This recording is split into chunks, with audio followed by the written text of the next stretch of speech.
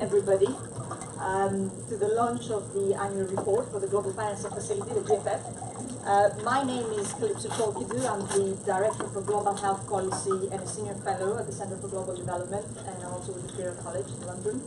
Um, and it's a great privilege to be here moderating this session. We've got a wonderful group of uh, panelists, and I'll go on to introduce them um, in a minute. And of course, we've got you and we've got colleagues joining us by uh, the web. So tried to organize this panel so that it's as interactive as possible. So please do participate, ask questions, share your thoughts.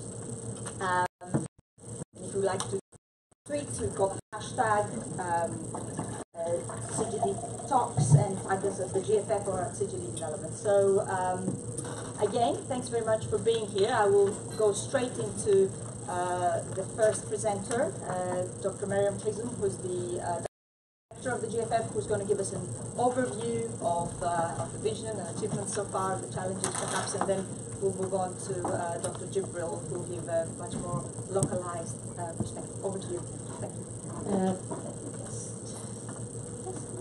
So thank you so much uh, for that introduction and thanks to all of you for coming here and thanks to all of you who are joining us uh, virtually for this discussion this afternoon.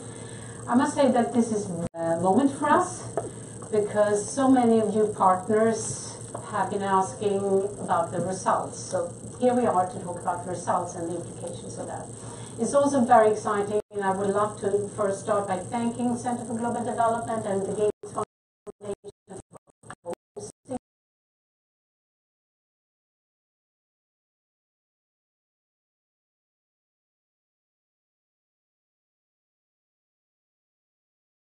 talks the talk that we're going to focus on today. So to have you here is really very, very exciting to, um, to bring the reality to these discussions and what the challenges are and what you're doing. It's also exciting to have Claire, Joe, and Kevin here because all three of them actually know the, C, the GFF model very well and have been in different ways part of shaping it.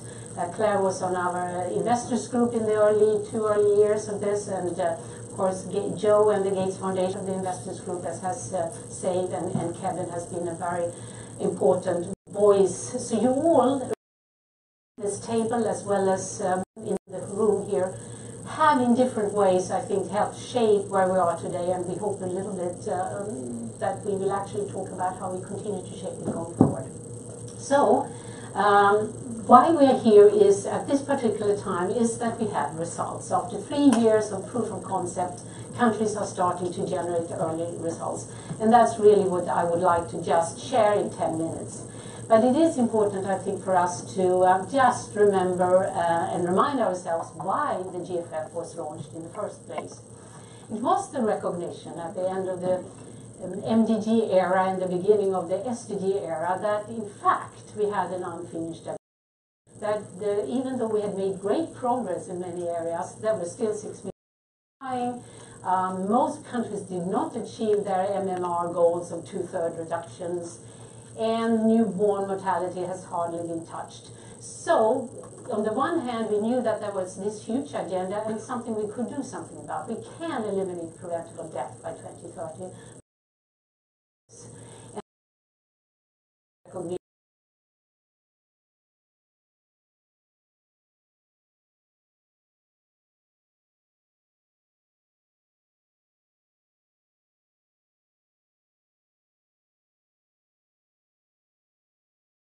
Innovatively to mobilize the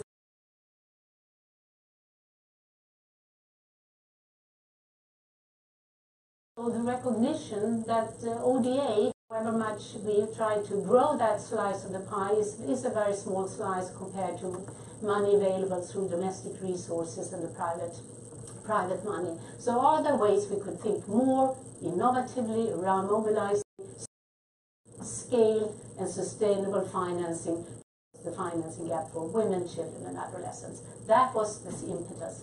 Now you hear us in the GFF community often talk about GFF being catalytic. So what do we mean by catalytic? What we mean by catalytic is that the GFF has several levers. One and the most important is to reduce inefficiencies. Here we talk about the prioritization of high impact interventions for women, children and adolescents. Also looking at the priority bottlenecks in the health systems that can help us deliver. But it's also other inefficiencies that I think many of you know of.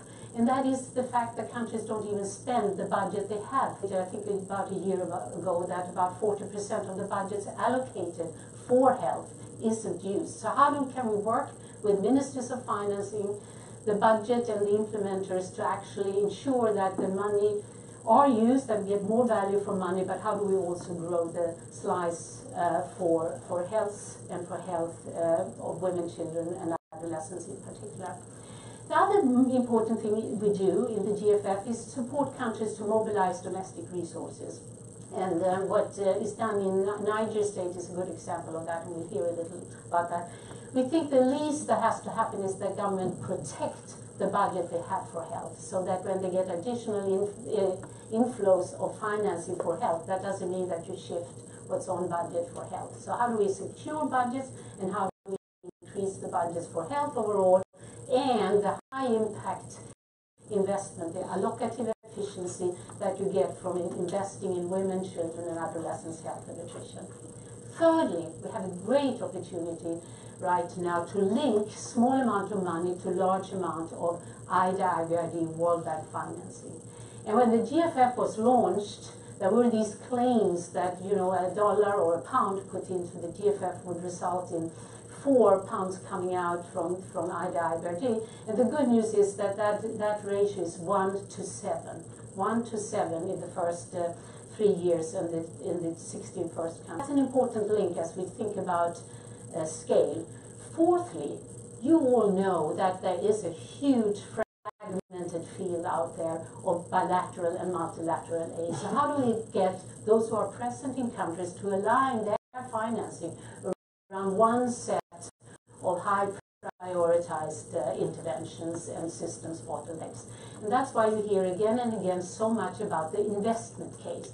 The investment case is that process to get countries to agree on what's very, very difficult, a set of core priorities that are driven by evidence, evidence of what works, but also evidence that shows where are the problems, who are the neglected groups, communities, and interventions. So aligning bilateral aid, and we to say that in the first 10 of the first 16 countries, we have at least three bilateral donors who are bringing co-financing into the, um, into the GFF and in support of the investment. And the last thing I want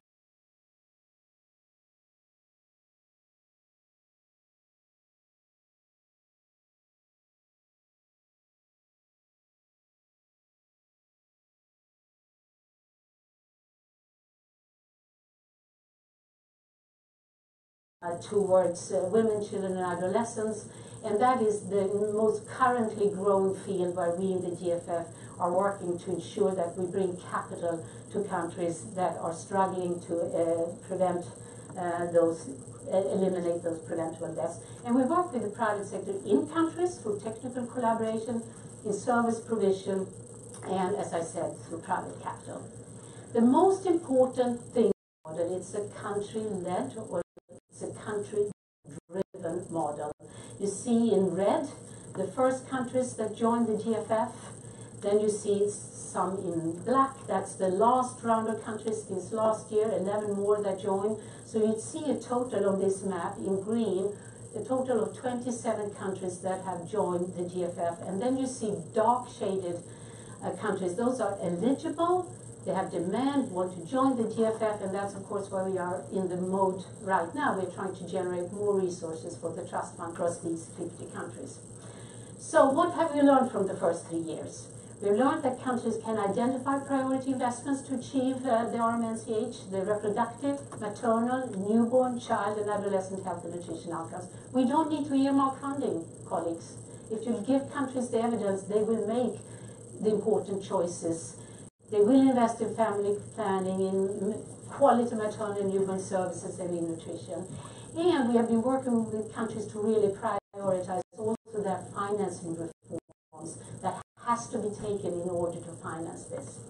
We're getting more results from existing resources, and I mentioned earlier the, that how 3.3 billion of, uh, or sorry, 452 million of GFF trust funds have been linked to 3.3 billion in IDA IBRD. And we can talk more about that. IDA, as you know, is for low-income countries, long-term concessional. IBRD is with uh, for countries in mid-income. It comes with interest, and that's what the GFF does. We buy down those the interest and match it with domestic resources. Aligned external financing is really important. So 50 bilateral donors are now uh, aligning their financing to the country's uh, investment case. As I said, we also try to do bring out what's our value add in this field of partners and investors, and that is really to strengthen the systems, to track progress, to learn and course correct. So to date, we have supported 12 countries to actually map the for the first time, actually being able to try to map out where does the money come from towards my country and my budget. And one thing that you no country would prioritize if you ask them to prioritize is uh, CRVS, civil registration and vital statistic. We're not, yeah, that's what we need to do. So that is the only area where we actually uh, tell countries, you know, here there are resources to do this so that you know your denominator, you, you know how many are born and die, and that's actually also part of our human rights agenda to, to count people who survive and uh, die. As I said, results.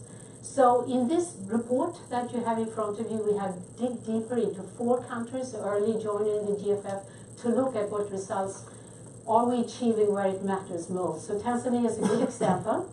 By the way, DFID is a co-financier in, in uh, Tanzania around their um, investment case. Tanzania is one of those countries where maternal mortality has not gone down, right? So there, they, they are really trying to tailor their investments towards uh, the last year's stalling of some of those critical indicators. So what's important in Tanzania is not just that outpatient care has risen over the last months, but what's really important is that when you rate, you try to um, uh, assess the quality of health facilities, which they do, and they use a five-star system. Countries have moved from zero to three stars performance evaluation. One uh, uh, to 22% of countries are actually rated uh, as improved quality and, and reach their three-star uh, performance rating. DRC, a country that you will know struggle with facing more, many challenges, including Ebola. In spite of these constant challenges that they're facing, they are also trying to really build resilience. Uh, and uh, through the GFF and other partners, they have now a compact. You don't just come in and start to invest anywhere in anything, but you really have to look at what are the investment case, what are the priorities, and, and, and uh, the, the government has a memorandum of understanding with partners. And there where you see vaccination rates going up and assisted uh, delivery also coming uh, are increasing by 14% in 18 months. And this is important because we often hear that you can improve results in you know countries high performing, well designed, performing constant, but we want to show that in fragile areas you can also increase coverage and you can do that with a strong results focus. If you purchase for performance, you shift from inputs to outcomes, and really you can drive change also in difficult uh, circumstances. Same with Cameroon. In the last few years, towards the end of the MDGs, maternal mortality, uh, inequities around maternal mortality was growing. They, what Cameroon has done is doubling its budget for women, children, adolescent health and nutrition and increased the number of skill or the percentage of skilled birth by 71% in those first initial set of 34 facilities in the country. Nigeria, I'm not going to talk much about since we have uh, Dr. Jibril.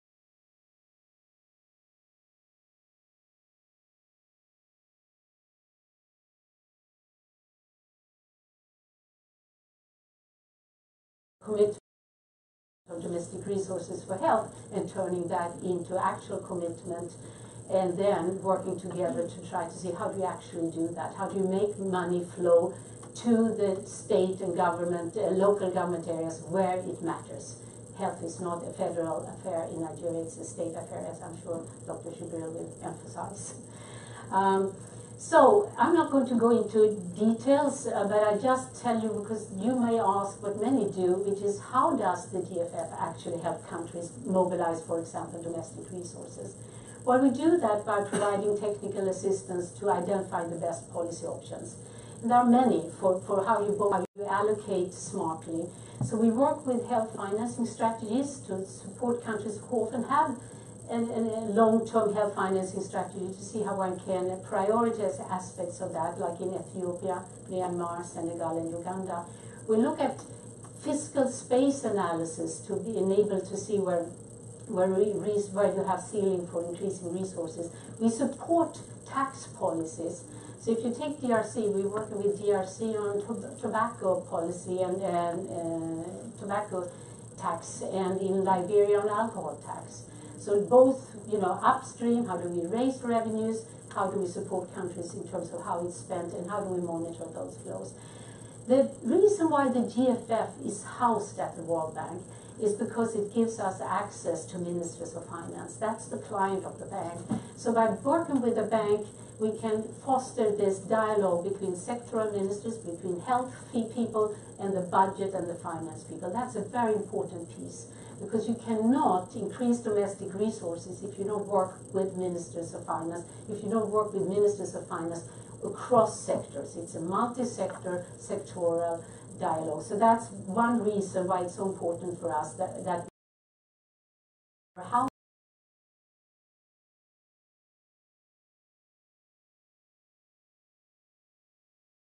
disbursement linked indicator get the, the resource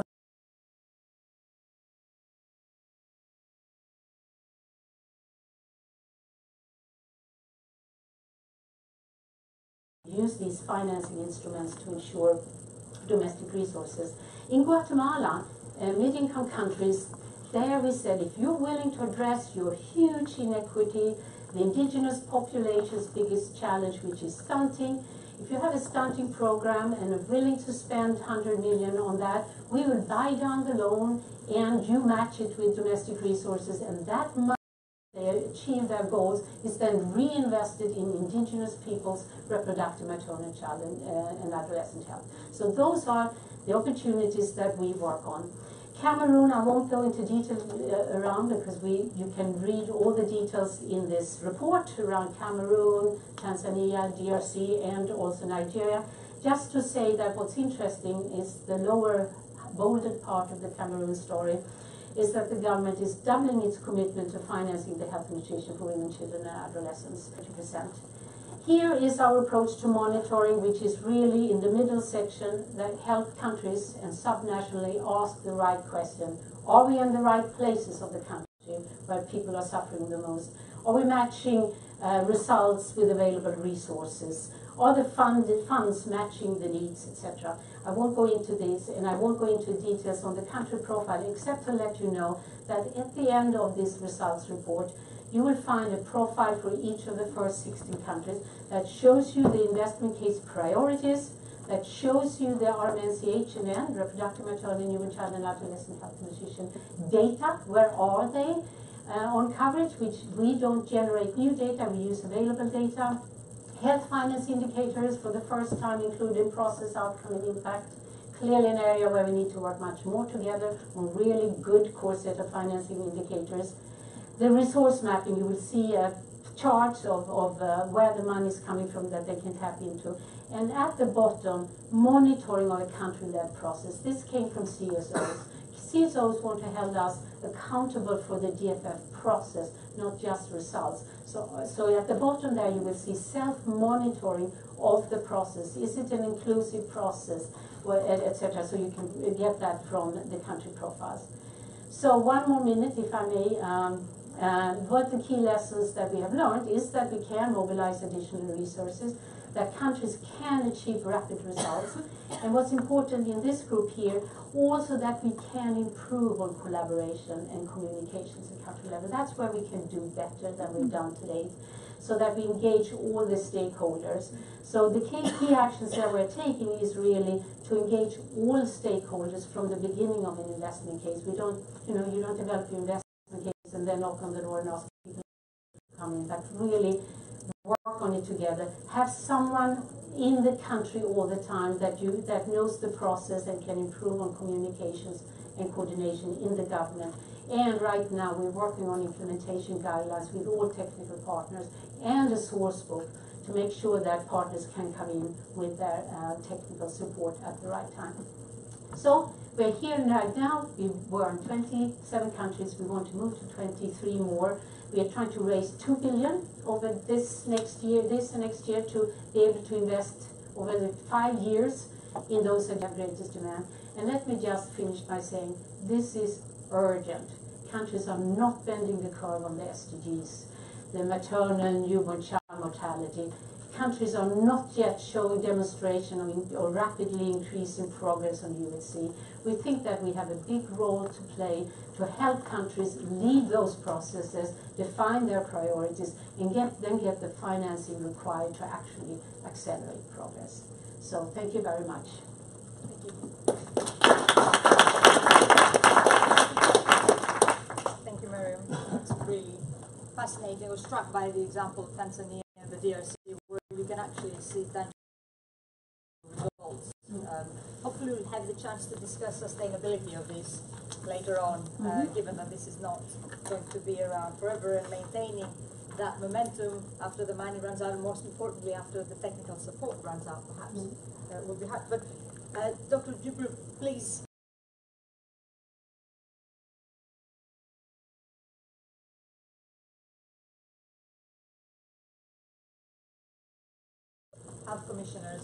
he has been working very closely with the GFF and with the Gates Foundation. Uh, and hopefully you'll tell us your experiences and how your interaction with the GFF has helped. What could be done better, perhaps, and what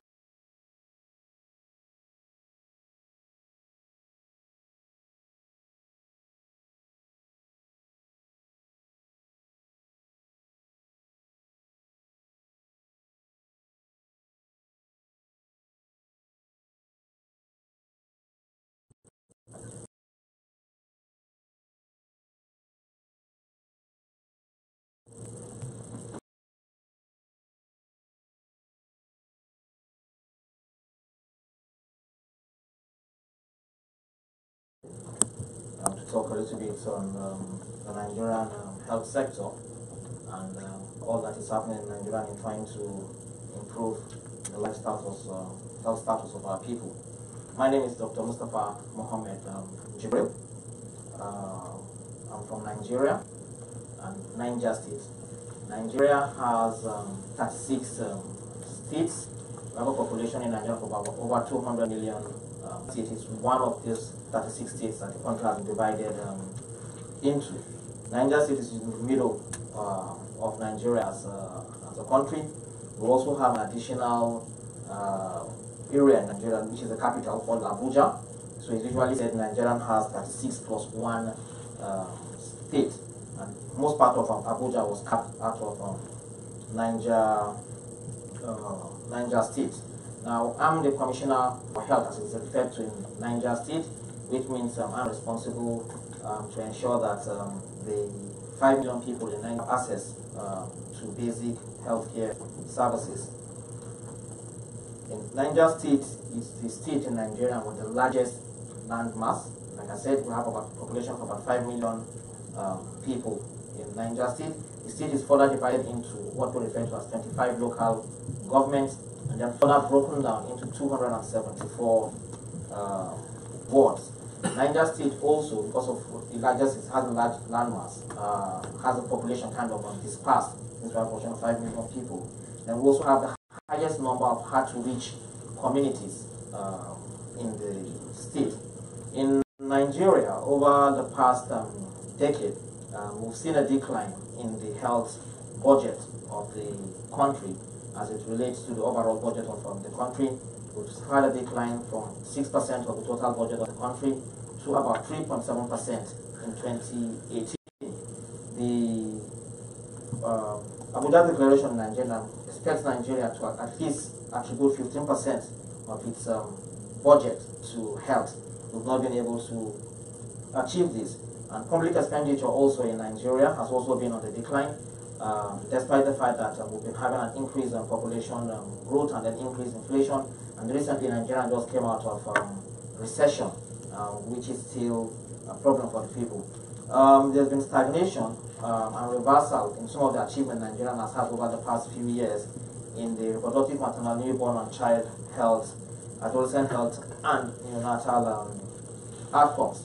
And then there has been further increase in inequity in the distribution of um, healthcare services across the country um, by geographical um, division and also by socio-economic status, where the poor people don't tend to get um, more uh, access.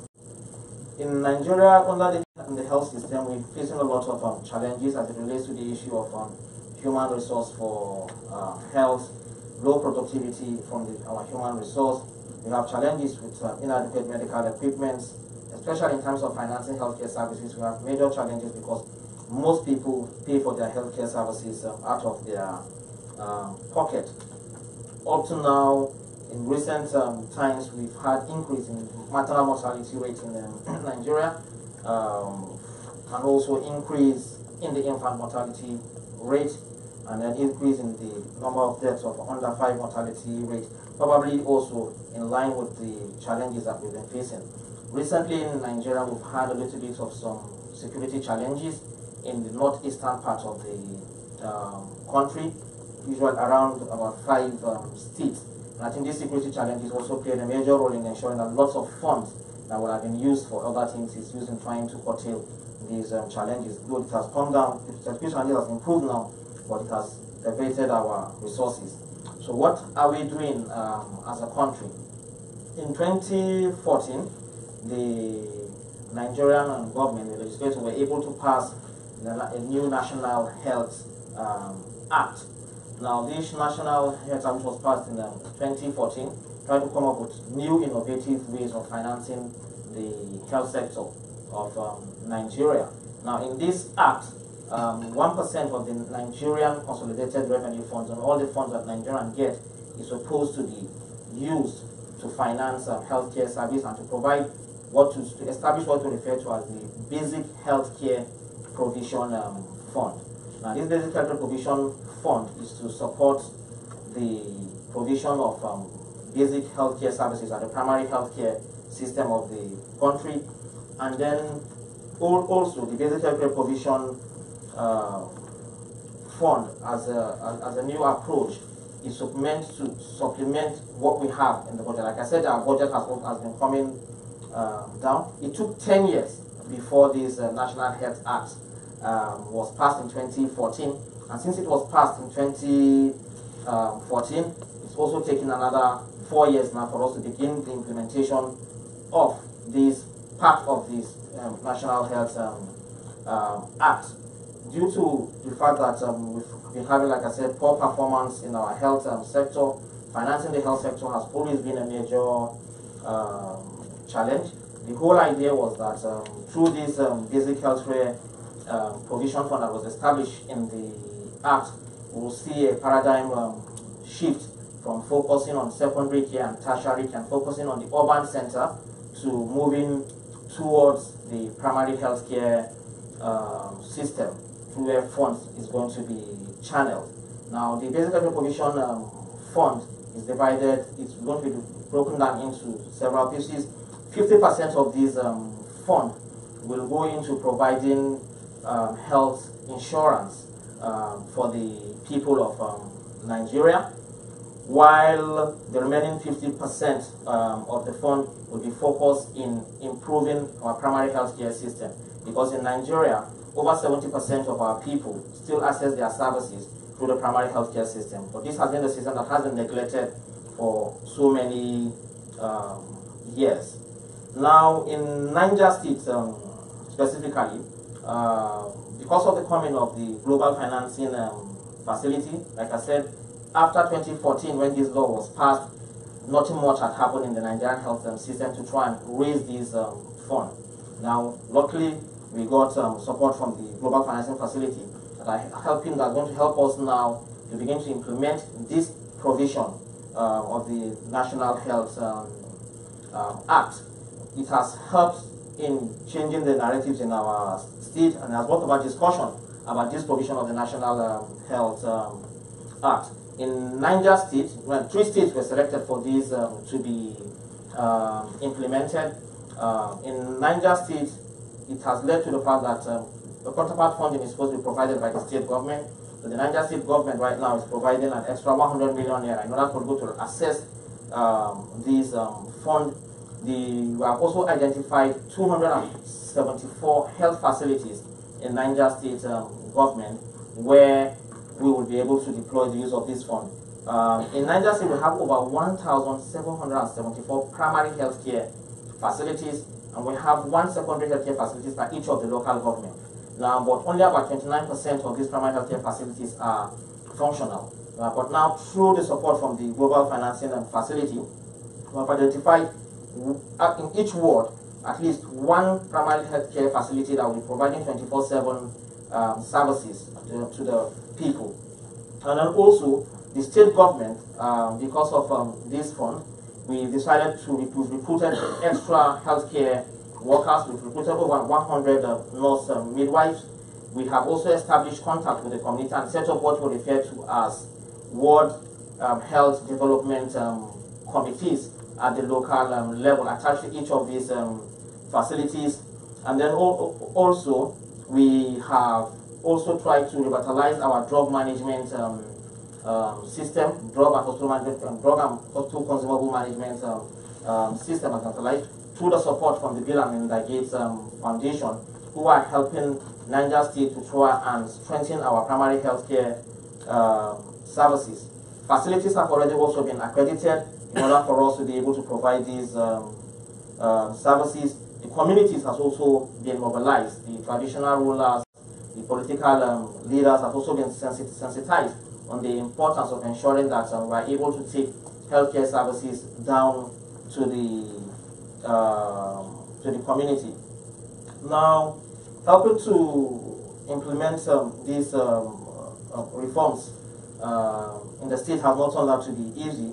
What we've been trying to do at the national level um, also is to draw all the state um, government uh, to discuss with the Minister for Health in trying to see how we're going to improve the services that get down to our um, to the people. Like I said earlier, three states have been selected um, for the pilots of um, these um, implementation of these um, funds.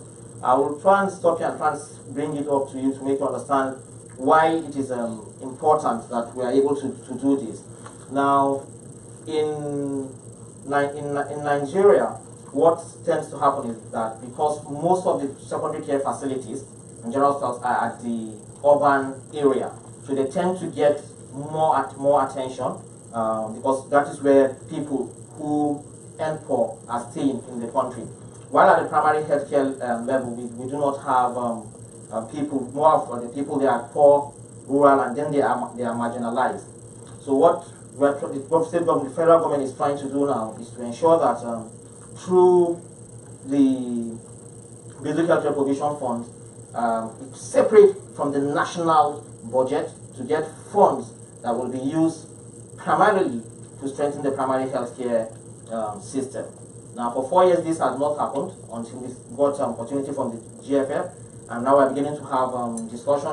And the states, three states which have been selected, one from the north, which is Niger State, one, two from the south. The south is divided into two, the northeast and the northwest have also been selected. And then we have also been um, challenged to begin to put in our own resources and to begin to try and do what we can so that we'll be able to assess this one. And also at the national um, level, the federal government has also been able for the first time in four years to put in its budget this 1% of its consolidated revenue fund to be used for um, health. Um, but for now, the, that fund has, is yet to be um, released. But we believe that if we're able to demonstrate in our own districts that are starting this um, pilot, that this fund can be well utilized and it's going to benefit the people, that it will further encourage the Nigerian government to further release more um, funds. They've gone a long way, 10 years to set up the act, four years now, after because of the fact that they were getting a pilot from um, the, through the World Bank. Um, now it has been put in the budget. What is left for us at the state level, the three states that have been selected, is for us to demonstrate that these funds will be utilized well. One way where, where are we getting lessons from to the, the disbursement of these um, funds? The World Bank through the GFF had actually supported um, some other pilots and projects in, in Nigeria through what we refer to as NSHIP, the Nigerian State-Led Investment um, Project, and currently right now the Save 1 Million Life Program for Resort. In the Save 1 Million Life Program for Resort, every state in Nigeria they got 1.5 million um, dollars to try and improve health services at the primary health care level. And then the focus now, as, as opposed to before, is focused on um, results. If you do well and the indices in the country changes, then you get more um, uh, funding, as opposed to in the past where we tend to focus more on uh, on um, inputs. I think uh, I will um, stop um, here, uh, and then maybe probably if there are more questions, I'll be able to give uh, more qualifications. Apologies, it's not easy talking in front of um, special people like you are here, so I was a little bit um, nervous, but hopefully by the time you ask uh, more questions, I can give more clarifications. Thank you very much. Thank you. Thank you, Dr. Jibril. I think you've described for us what catalytic actually means, what Mariam described as catalytic. You've sketched out exactly what that means and how perhaps sometimes it's more about politics and less about money. But, uh, but we can talk about this more. So we've got three more panelists. Uh, we've got uh, uh, Kevin uh, Watkins from uh, Save the Children. We've got Joe Cerrell from the Gates Foundation. Thanks again for having us here. And we've got Claire Moran from DFID. Um, so what I will ask you to do, starting with Kevin perhaps, is take two or three minutes uh, to reflect on what you've heard. Um, and then we'll open up for discussion. And we're running a little bit late, so please stick to, to three minute stops. Thank Okay, you. um, throw, throw something at me in three minutes. um, look, I, j- just to start off by saying a huge thank you to Mariam and Dr. Jibril for really clear presentations. Um, and also for this report, and, I- and I think this report captures in a nutshell why it's really critical that we get behind the GFF and make it work. And I say that, maybe I could start where Mariam left off, which is on the urgency of Right. where we are. So as, as an international community, we made a commitment to end preventable child deaths by 2030. We are woefully off track for achieving that goal. There, there will be around 3 million preventable child deaths in 2030 on the current trajectory. And within that, we know there are subsets of big global challenges. So one of them is the fact that neonatal death is coming down far more slowly than one to five, uh, zero to five deaths overall. Another is that major killers, the, the biggest of them and the most neglected of them being pneumonia, are witnessing very slow progress. Um, we know that the very slow progress that's being achieved in cutting malnutrition among children is a direct factor in contributing to these avoidable deaths. And I think what the GFF is trying to do is to, is to provide an integrated solution to those problems, which is why we should welcome it. And be, because I've only got three minutes, I'm, just to put in a nutshell what I see as the three really big challenges that the GFF is biting off. One of them is the financing challenge. And money's not everything, but when you have a $33 billion a year financing hole in the budgets that are needed to deliver the interventions, it sure as hell slows the pace of progress. Um, second is health system weakness exacerbated in many cases by problems in donor coordination and coordination between finance, finance ministries um, and health ministries. And arguably the biggest one of all, inequality. You know, we know that death rates for the poorest are coming down far more slowly than they are for the wealthiest. We know if you take a country like um, Kenya, the, the difference in per capita spending ranges from $4 per capita in some of the poorest districts to $40 in some of the wealthiest. So you know, these are big inbuilt financing inequities that are driving those wider inequalities uh, and holding back the development of, of systems. I, I think Mariam and Jibril have set out really clearly how and why this mechanism can fix some of those problems in areas like uh, coordination, like the leveraging of either uh, IBRD, Uh, the fact that a fifth of the budget is geared towards nutrition, I think, is uh, over, overwhelmingly welcome. And in the minute that I've got left, uh, because I'm from the C- uh, CSO, you would expect me to say something a little disruptive, um, uh, which I'll, I'll try to do.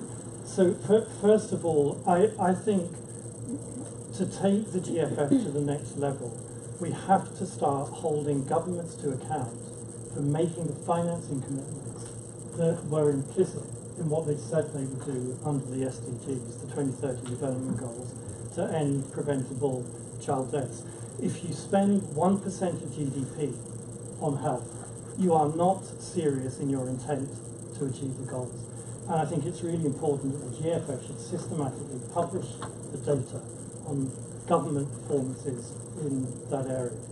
Um, secondly, if the, the, this report opens with a really good section on leaving no one behind, and leaving no one behind is like the American Constitution, right? You know, it's motherhood and apple pie, and we all want to do the right thing. Leaving no one behind is about closing the gaps in death rates and in financing between the richest and poorest parts of the country. I think the GFF should be systematically publishing data on the pace of convergence in those areas.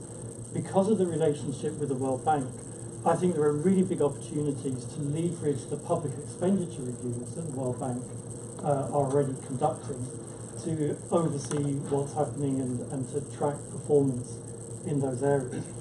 Uh, as, as one example of fighting of some of the big issues, Mariam gave the example of the tobacco tax in DRC, which I, we, I unequivocally support and Save the Children does as well.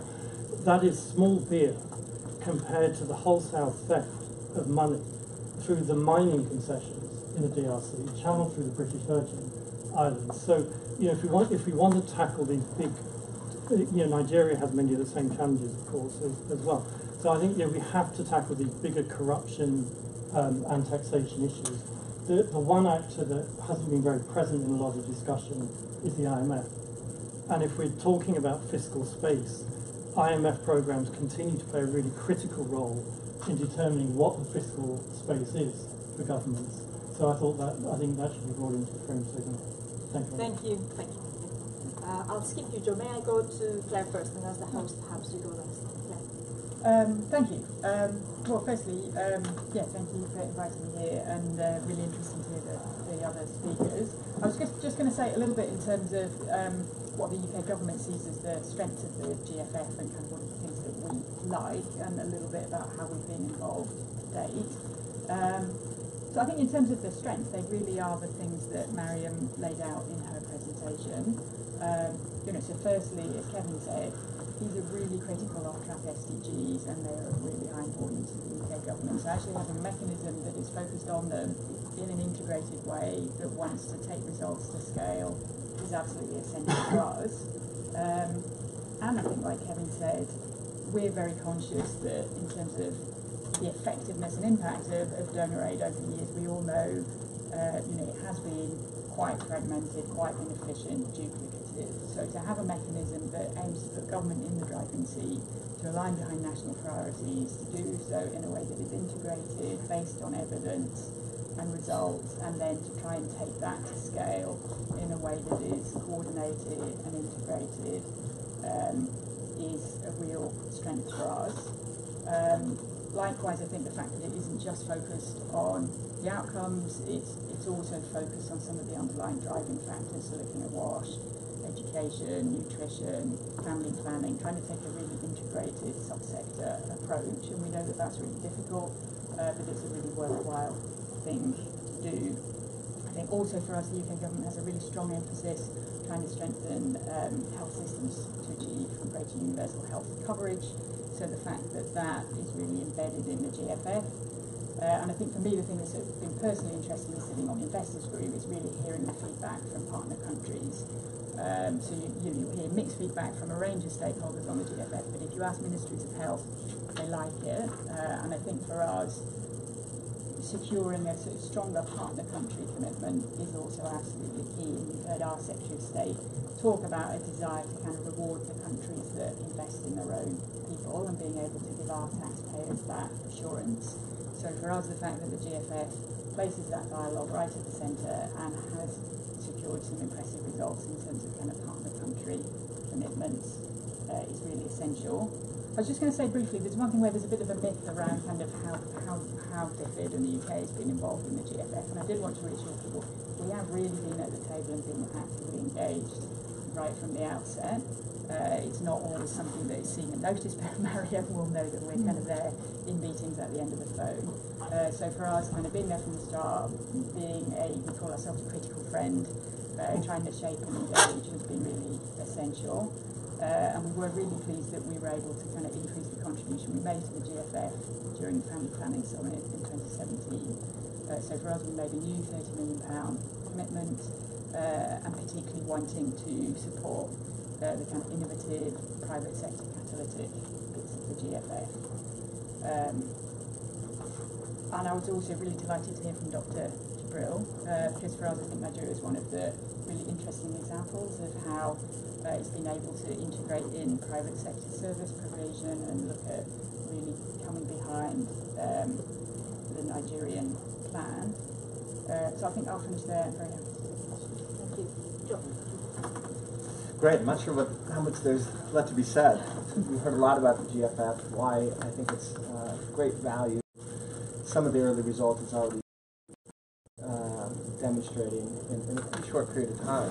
Um, so I'll try not to be too redundant. I, in reflecting, I, I, thought I'd tell a short story, and that's about 2008. So about 10 years ago, I had an opportunity as part of the Gates Foundation delegation. Uh, our global health team had a chance to go to Mozambique, and we launched uh, a malaria program there. And on the back end of, of that trip, we're invited by uh, a Canadian, the Canadian mission there, uh, based in Maputo, to uh, to sit with amongst a number of other donors that were working in, in Mozambique. There's probably six or eight around the table, and there was a, a spirited discussion about uh, why donors couldn't work more closely together to align funding against a single country plan, and how efficient that would be, and how much uh, you know how much better you know some of the, the impact of those resources would go if, if, uh, if donors could, could be more coordinated. Uh, and, and this quest in, in, the, in that decade since, I think, has continued about how to strengthen some of the coordination at the country level. Uh, which is why I, I think the GFF uh, really presents a great opportunity to uh, bring that much needed coordination and coherence uh, to, to plans. Um, and I, think a, at a time when uh, donor flows are really under threat, the fiscal pressures are really challenging, uh, it's it's a time it's a, it's an idea that's well past its time. We really need to, to get on board and figure out how to make it how to make it work. Uh, so it was in that spirit that when the Norwegian government came to us and uh, requested that the foundation come in as a as a supporter of the GFF, uh, we were we were very excited. Obviously, the, the, the mission of trying to support uh, women's adolescent child health gets to the very core of what the Gates Foundation was all about but it was really the approach that the GFF was uh, was taking that uh, that excited us even even more. And again, the idea of trying to align donor funding, whether that's from multilateral organizations, uh, bilateral donors, foundation funding, against single country plans developed by the countries themselves that reflected the, the priorities at the national level uh, that really distinguished the, the GFF uh, from, from other uh, institutions. And it was something that, that uh, very much appealed to us. Um, uh, similarly, I think it's, it's you know, putting data and measurement at the heart of everything that it does, which the GFF does, is, is something that, that, um, that, that we obviously like very much. We are a data-driven organization. We like analytics, and we really were impressed by the way that uh, the GFF was, was uh, and is carrying out its mission. Um, and it's, you know, it's evidence in this report now that, again, in a pretty short period of time, the, the GFF is already showing some great results. Uh, and the model is really proving out the, uh, the evidence from countries like Tanzania and others that Mariam presented are really impressive and, and should give uh, donors um, great confidence that, that uh, a mechanism like the GFF really can be additive to, to the global health architecture. So it's, it's uh, was based on uh, both the early promise, but um, also some of the results that the foundation agreed in, in uh, uh, last year to, uh, to contribute $200 million to support uh, the GFF and, um, and why uh, Melinda Gates and the Gates Foundation have agreed to co-host in Oslo November 6th a replenishment um, that uh, we, we certainly hope there's going to be a, a lot of interest in, and, uh, and commitments brought to bear on. I'll say just lastly that uh, we often get the question, GFF is yet another mechanism in an already crowded global health architecture. How do we how do we make sense of all of these organizations? And I think the one thing to, to keep in mind is that the, that the GFF is not competing uh, with organizations like the Global Fund or, or Gavi. Uh, I think at its at its best, the GFF can really help some of those organizations and bilateral funding from, from donors be better, be better coordinated, be more coherent, and really reflect uh, what those national plans are. Uh, and as, as organizations like Gavi and, and the Global Fund are, are thinking about and actively um, supporting health system strengthening, they can do that with better intelligence and a better sense of what really is, uh, what really are the priorities of, of, of those countries in, in, in, that regard. So uh, we think that the GFF is a valuable addition to the global health architecture and something that really uh, will be something you know, very additive and, and important. So lastly, again, uh, I, you know, in, in, uh, the GFF is very brave in this time period, both to launch a mechanism, but have uh, as, a, as a goal $2 billion to, to raise over the next five years. Uh, it's, it's ambitious and, and bold, and, and we really do need uh, the help of, of, donors and, and you know, many of you in this room to help make the case why the GFF really does deserve the support. I think you know, Prime Minister May and, and several other European leaders, when they uh, have been in Africa recently, all talked about uh, aid uh, really needing to uh, be based more on a, a principle of self-reliance and, and, equal partnership. And I think it's exactly that spirit that uh, the GFF brings to bear. So I, I, I hope and, and hope we can count on you to uh, make sure that donors come and come with, with strong commitments on November 6th. So thanks. Thank you. Thank you. Right. So got about 30 minutes, perhaps a bit less, for questions. Um, if you can tell us who you are, where you come from. I've got a microphone. Yes. Um, please, over to you. Yes. Do you want me to take it off? Yeah. Um, hi there, my name is Andrew Story from CHAI, the Clinton Health Access Initiative. I actually have two questions, if I can, both to Mariam. Um, first of all, um, one of my takeaways from Dr. J- um, great talk earlier, I think, was the emphasis on um, extending the health system to the community level. You made that point several times, and I think I'm right in saying that in Niger states, a very high proportion of births occur outside the health facility, 70 or 80 percent, maybe. you know, you can tell me, but you know, so that means the majority of births are happening outside, you know, at the health facility, at the home, in the village. And yes, it's great that you have these initiatives to, ex- to you know, do something about that, to extend that. So, Mariam, I was wondering, is that an approach that's been replicated in other countries? Is that a, a lesson that's been brought from Nigeria, that's been applied elsewhere, where I know other countries also have a very high proportion of births happening outside the health facility?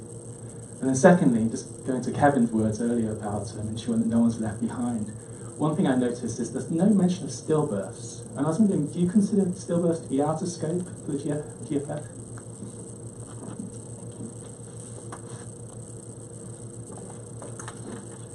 I think I need to borrow. Yeah.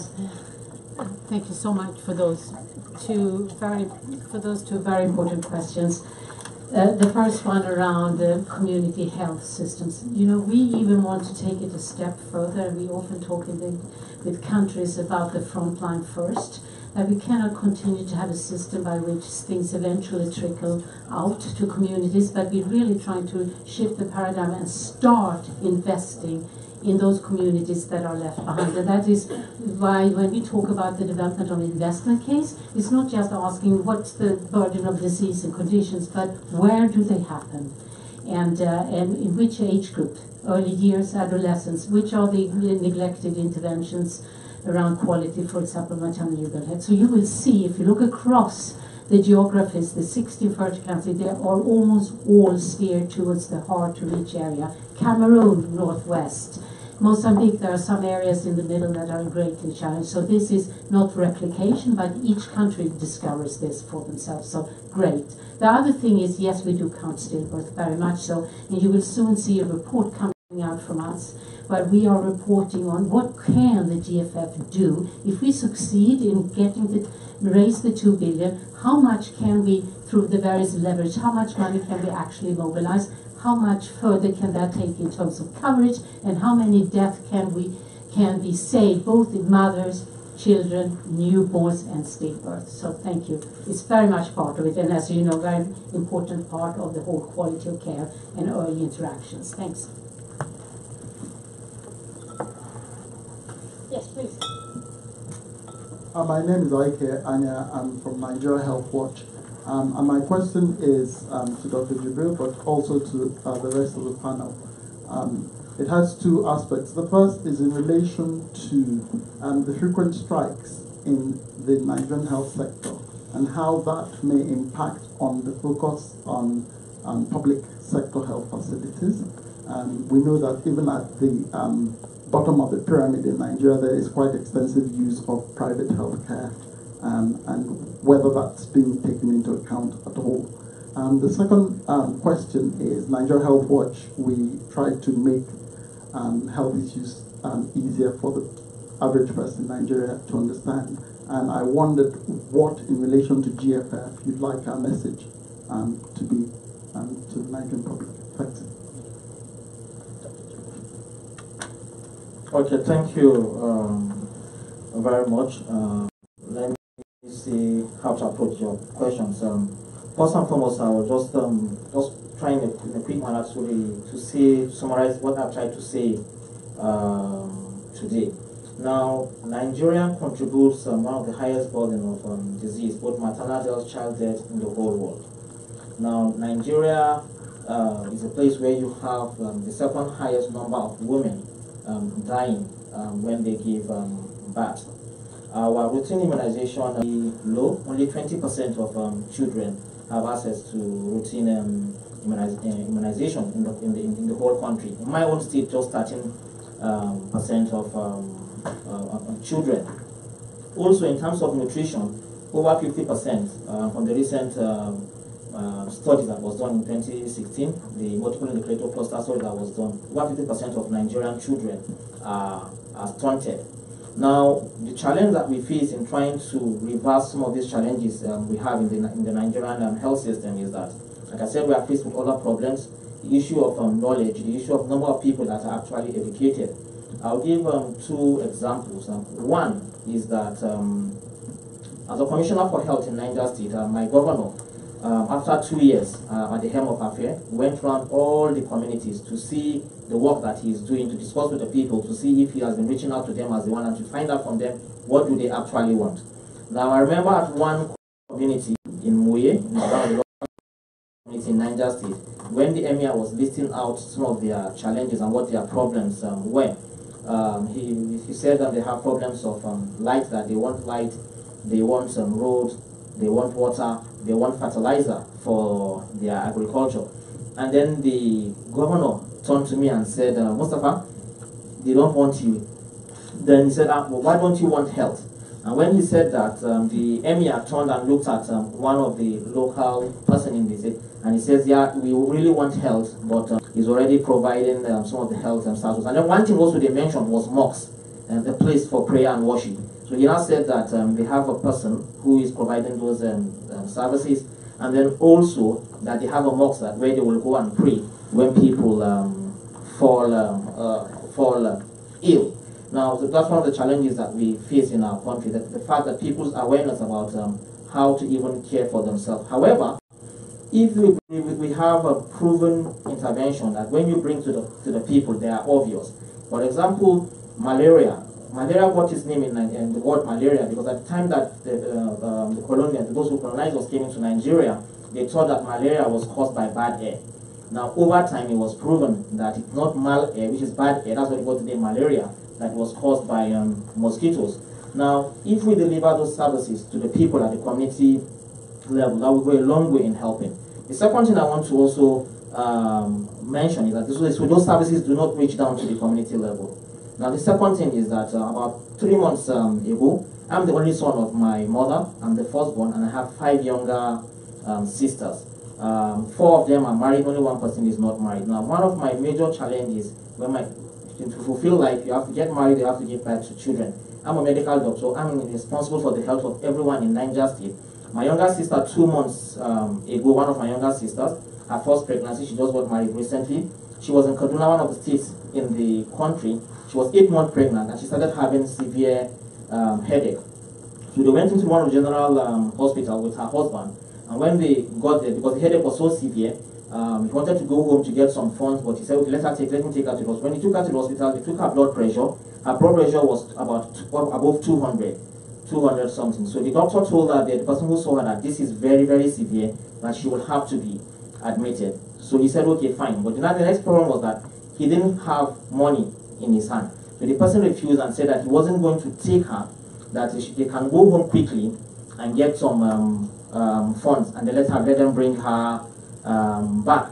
Then he, the, husband tried to beg. He said, "Oh no, the challenge is that most Nigerians, that's what happened. They will beg, and then when you admit the person, they will still come and tell that they don't have um, funds, and that hospital needs to run." So he left with my younger sister, and then went home and got his uh, card, ATM card, to go to the bank machine to, to withdraw money. Now, while he was withdrawing money, when he came back to the car, he met my younger sister convulsing.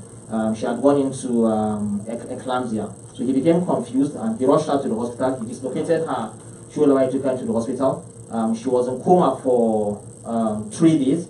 And before they, when they called me in Minna and they told me that um, know, I actually thought her, she was going to um, die because my mom called me. My mom was worried. I was in Abuja then, and she said I should quickly start going down to Kaduna. But I told her that um, I'm almost sure that she's going to find it difficult to um, to make it. But we're lucky. She's um, okay now. She gave birth to a premature um, child. The child is also okay. But what am I trying to draw here? Now, one of the major challenges is that most of our financing for health is out of pocket. When you go to receive healthcare, you don't know when a health emergency will strike. When you go to receive healthcare and you don't have money in your pocket at that time, you would not get um, um, services. Now, how is this uh, GFF going to um, helping us? Now, I, I, said something that Nigeria, the health budget, even in my state, at the state level in Niger State, uh, we've been able to increase our budget because my governor's um, wife is also a medical doctor and, and a gynecologist, and he understands, because of that, he has increased the state budget from 6% to 9%, now to 11% of the overall total budget. However, the release for the funds of the budget is very um, low. Um, last year, only 20% was released. Now, the question now comes, when we release this, when we release this 20%, even at the national level, there is a budget is there, but the release will just be about 30%. Now, when they release this 30%, where does it go to? Now, the Nigerian healthcare system is like in a state of war. When you're in a state of war, people are, are, are dying at that moment. So you don't have time to start thinking about, you want to deal with the present complaints, because those who are ill, severely ill and about to die, would not give you a breathing space. So you want you want to focus on is on taking care of them, and you want to talk about what are the steps that you will take to prevent them from getting this to this situation. If they have access, they will have been um, prevented from getting to that um, situation. So most of the funding that comes into over 70% of our resources that comes into the health sector goes straight to dealing with people at the secondary care level that are already having challenges. And that's why the primary health care system had been neglected. Now, the National Health Act came in and realized that, okay, what we will do is that we will allocate 1% of all the money that is coming to Nigeria to take care of primary healthcare, um, uh, uh, primary healthcare system as kind of like a new mechanism. Now, if you allocate money, nobody will, will say, it is a separate money that's coming, money that is outside of the normal budgetary allocation. So that was done in 2014, but there was still no um, backing of um, funding because there are lots of challenges of whether if you push this fund to the health sector, how will they make use of um, it? Then came the GFF. Now, how has the GFF um, helped? Now, they came in and they said, okay, after four years now, that we can help you provide funds to operationalize this um, basic healthcare provision fund. Now, to kind of like give a proof of concept. Now, if they give, if by this fund that they have put in place um, now is separate from that of the, of the health budget. And then the question now comes, how are we going to utilize this fund? Now, luckily in Nigeria, the GFF have been able to support what I refer to as the Nigerian um, Health um, Nigerian State Health Investment Project in three states, Nasarawa, Adamawa State, and Ondo State. Now that will come to answering your own um, question that you asked. Now, in this process, the funds are sent directly to the facility level. Now, and then I will also answer the question of the community. Most the, primary healthcare system in Nigeria, we do not have doctors mainly there. We have community health extension worker and a few midwives. Their mandate is to go into the community and provide outreach services, but they do not have logistics for these services, and um, they don't have operational um, fund. They don't even have basic equipment to work with to even go in and provide these services. Now, through the NSHIP program that is taking place in these three states, funds were sent directly to the facilities where they'll be utilized. They'll use the funds to carry out outreach to the community and educate the community, and people will come in. Now, I will say this um, here uh, uh, a little bit painfully that in, in Niger State, Niger State is the state with the second highest number of newborn deaths in the whole um, country. Now, Adamawa State, which is also a state in the north, has moved from being almost close Niger State now. I think because of these um, funds that are sent directly to the facilities, have now become the second best state in the country in terms of newborn um, uh, newborn death. So what we are doing now, and what the GFF is funding, what we're happy about the G, uh, GFF, and I told them that I wouldn't be here unless I'm happy about what they are trying to do. One, they've identified a solution in the policy of Nigeria in trying to identify we want to separate funds that will go straight to the primary healthcare system and to the communities. And now they intend to support that process. Then secondly, they already have a proof of concept of in some areas where they have worked using the NSHIP that when funds are taken, all of us are making a sacrifice in the country because of the issue of accountability and corruption which he talks about. Now, these funds, even when the federal government releases this one, but currently now through the GFF fund, the funds are going to boycott so many normal bureaucratic bottlenecks that we tend to have.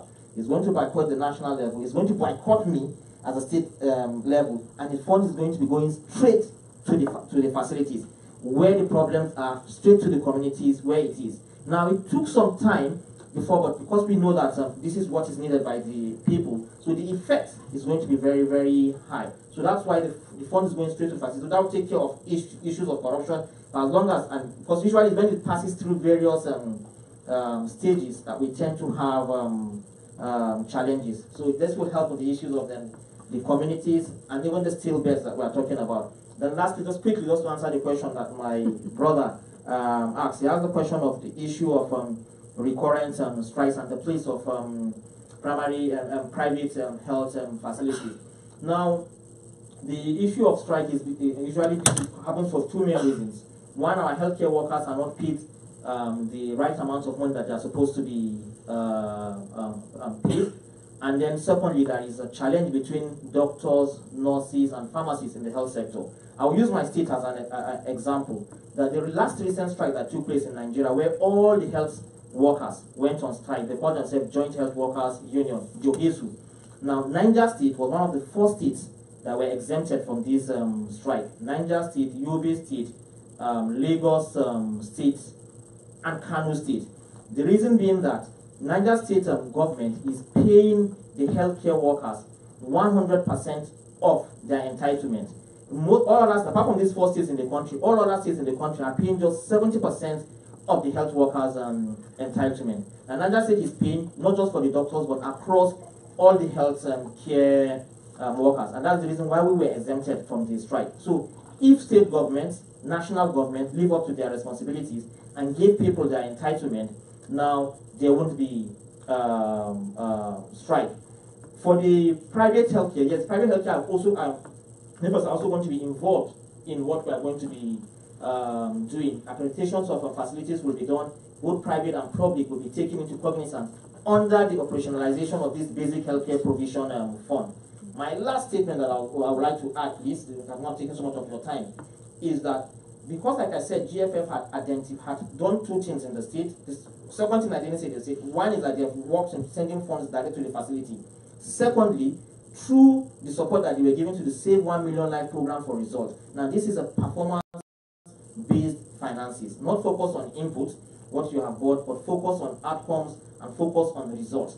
If the statistics in your state begin to um, change, the indices in your state begin to change, your maternal mortality rates and so are reducing, they, then you get more funding. Now, these two systems is going to be used in operationalizing these uh, basic healthcare provision fund, the fund that the GFF is going to be given that is going to be utilized in three states.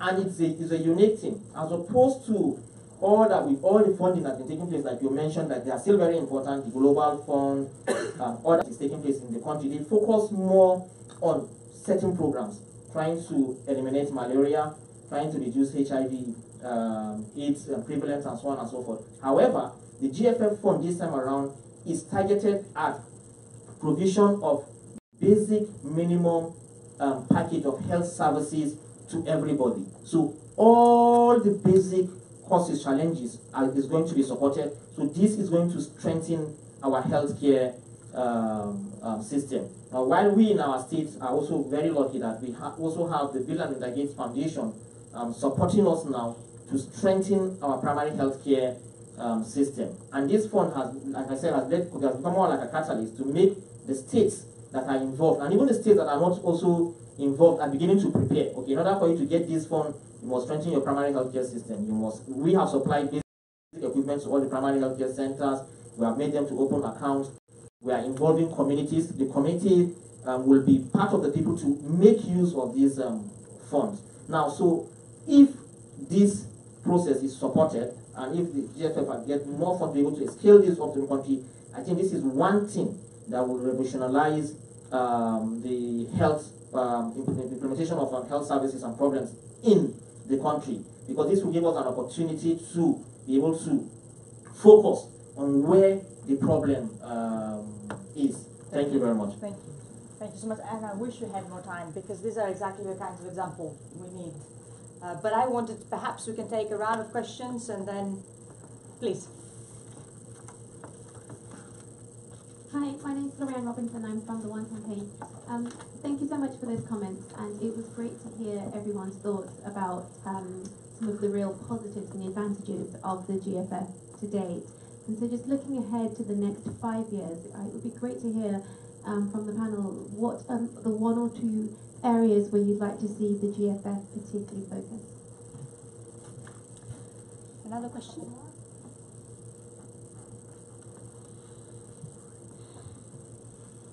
Thank you very much uh, to the panel for the very interesting uh, presentation and discussion. My name is Elisabetta Aurino. I am a research fellow at Imperial College London.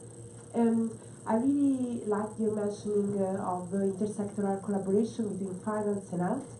So based on that, I was wondering if you could talk a little bit more about um, involving in this conversation other ministries, for instance, education, as a lot of um, the health expenditure for children and adolescents actually pass through the, the budgets of the education ministries, but also gender or other social protection uh, ministries. So both in general also in, in Nigeria, as I know the school meals, for instance, uh, been recently uh, extended to the whole of the country. So I was wondering about that. Thank you so much. One more, perhaps? Just a quick comment, um, Olumide Okola, uh, Nigeria. Just to mention that uh, the National Health Act that Dr. Jibril is talking about, the way it galvanized several partners, including one campaign, I think it's a story that must be told. You know, and second, the fact that a meager $20 million changed the conversation. This was an act signed in 2014. Why was it implemented in 2018? Because the Minister of Health in Nigeria said, you know what, out of the 40 million, let's even use 20 million. That in itself was the game changer. And I think, again, it's a story that needs to be told forcefully. The last point to mention is Nigeria's got a large private sector providing care, in fact, mostly to poor people. For the first time now, we're going to use this approach to leverage and harness the private sector, private providers to deliver basic services. But they're not just going to show up. Of course, they go through accreditation and all of that. So, and and I think this is pretty much transformational. And uh, we perhaps if the panel or someone on the panel can also maybe shed some more light in how the private sector is also further engaged uh, in this. Shall I take one more?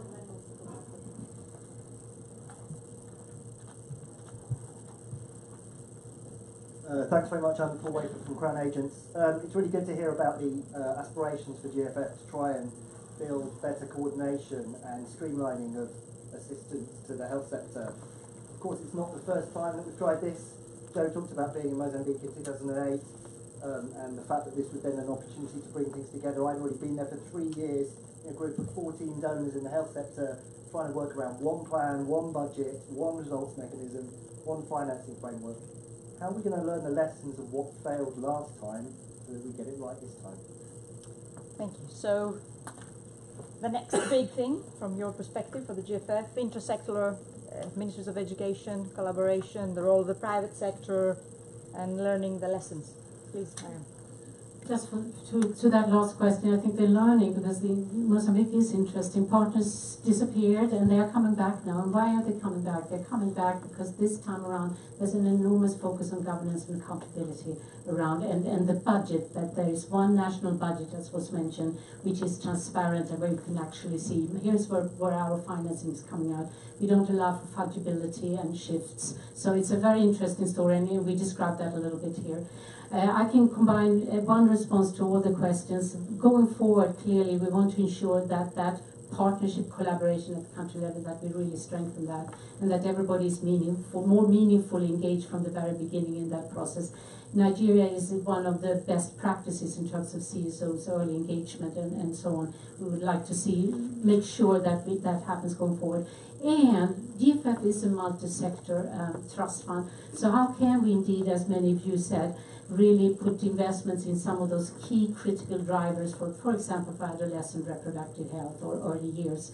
And I won't just give one example. Bangladesh, a $500 million education project, there were even smaller GFF catalytic financing of 15 million. What those small amounts could do was to say we are not just interested in how many girls enroll in secondary school, we want to know how many girls finish secondary school. And girls drop out of education because the schools don't have sanitary or hygiene facilities. So there, our financing to the government is going into more gender sensitive schools where girls can actually complete their schooling, where there is a bathroom, a toilet to go to. So hygiene facility and also mental health support from around bullying and all those key factors that uh, you know trigger dropout rates, which then can reduce you know early pregnancies and marriages. So really getting to those social drivers we think is really important going forward and doing more of that, using that potential. Thank you. Thank you.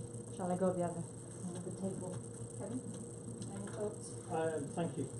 Well, ju- just um, a few and not wanting to repeat what others have said. So um, I, I, think one really critical area, I mean, Mir- Miriam's given a really good example of schools and the best way of keeping girls out of early marriage and early pregnancy, or one of the best ways, of course, is keeping them in school and developing interventions to do that.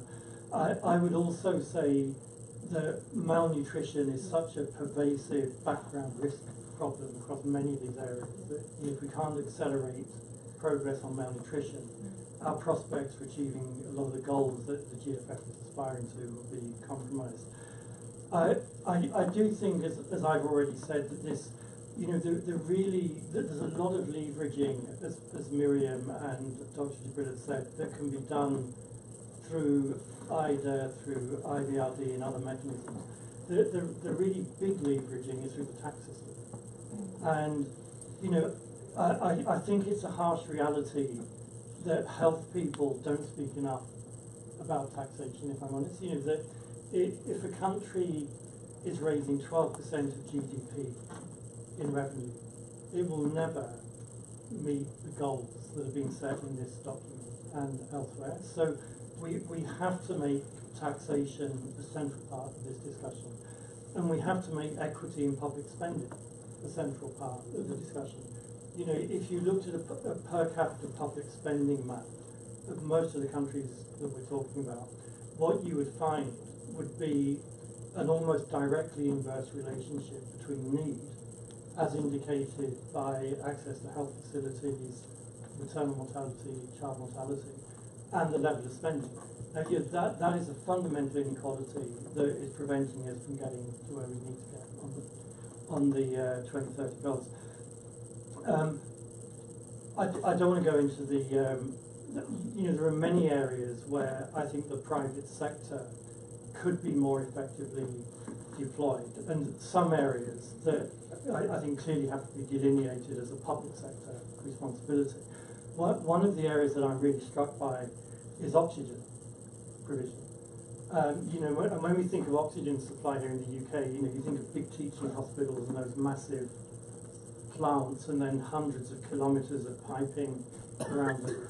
Now, you, you know, the, the, the truth is that many of the big health challenges that are being addressed here are challenges that require oxygen supply. You know, if you think of childbirth, if you think of sepsis, if you think of meningitis, if you think of pneumonia, um, and yet we, we don't have private sectors that are being galvanized to deploy the sort of technologies that are now available, oxygen concentrators, for example, in the way that they could and should be. So I, I, I would like us to um, be looking a little bit more at that as we go ahead. Thank you. Thanks, Cliff. John Clare, perhaps you'd like to talk a little bit about private sector taxation. How does DFID address this? You have a very broad remit, of course. Poverty reduction is not just about health. Um, would you like to comment? Yeah, I was going to pick up on. Um, well, certainly, um, I mean, you know from our Secretary of State that, that strengthening the tax base is a new and growing priority, so certainly watch that space from us. I was going to just pick up, I guess, on uh, Lorianne's question in the next five years. So for us, you know, we really hope the GFF is going to have a really successful replenishment that allows it to grow and expand and have the impact at scale that they're looking for, uh, and particularly to meet that kind of unmet demand from countries that want their investments and, and aren't yet able to tap into it.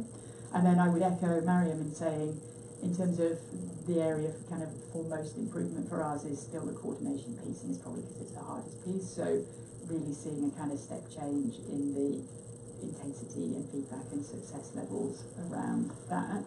And I would also uh, echo Kevin. I think another area for us is around nutrition.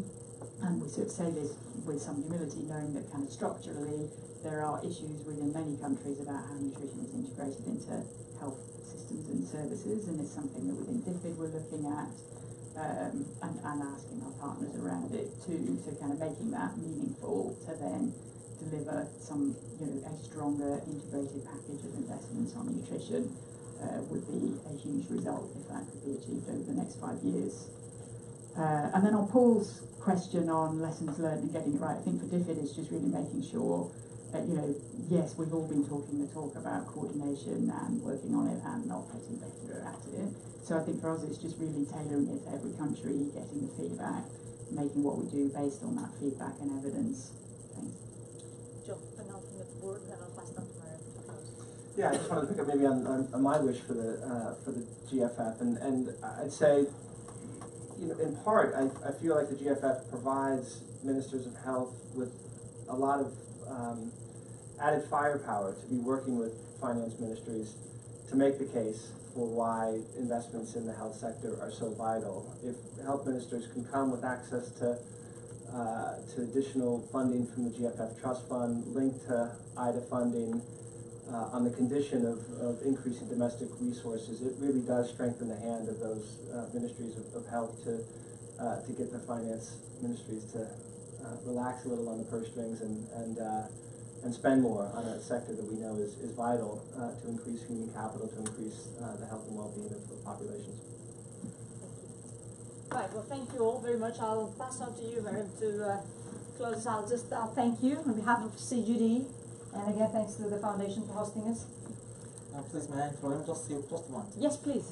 Thank you very much. Sorry about that. We've got about Um, a minute, and yes, a couple of I think minutes. he has um, summarized um, everything, the issue of the additional um, fire power and something to negotiate, negotiate to ensure that we are stimulated to put our resources where we are supposed to. But lastly, I'll say that when I was um, going to my, my, my place where I stayed, near Trafalgar Square, I saw an edifice of, um, of a lady um, there, um, Edith Cavell, and I was wondering what a female uh, statue um, was doing because we males always think that we are the ones. So I went and googled um, about her, and I found out that she was saving, showed, showed that she was helping people. She was a nurse who was helping people, and I came across one quote um, of hers, um, which is the last thing I want to say here. She said, um, "I can't stop while there are lives to be saved." Um, I'm hoping that um, the support that um, every one of you is giving to the GFF, I assure you that it's going to go a long way in helping our countries.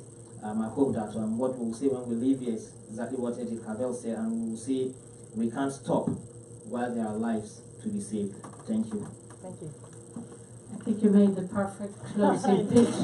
So after that, there's very little I can say except to say that, echo what many have said here, it's very ambitious, but it can be done.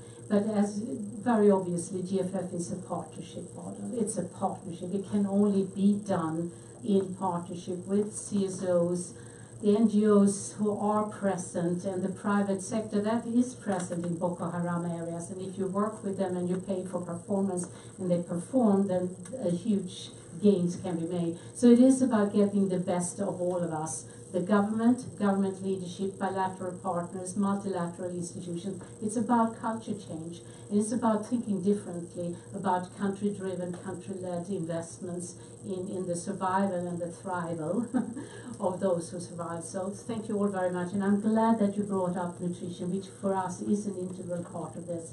But the beauty of the country-led um, eh, and country-driven uh, prioritization is that nutrition isn't forgotten when, when you do when you allow countries to prioritize. Family planning will be there, quality maternal and newborn services will be there, and nutrition because those are the three ne most neglected areas.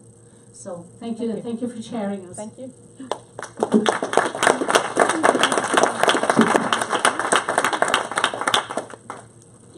Thank you.